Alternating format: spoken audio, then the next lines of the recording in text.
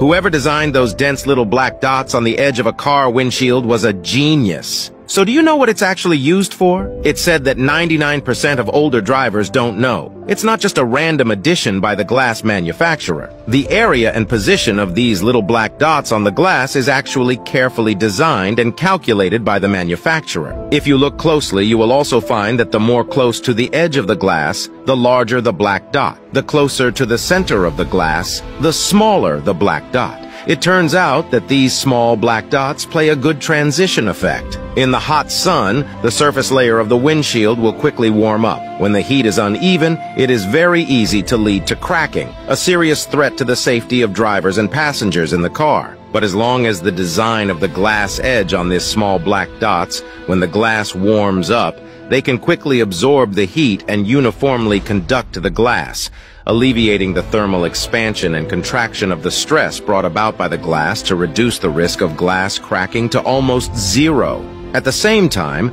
the small black dots can also play a role in protecting the driver's eyes. So why are there no small black dots on the windows on both sides of the car?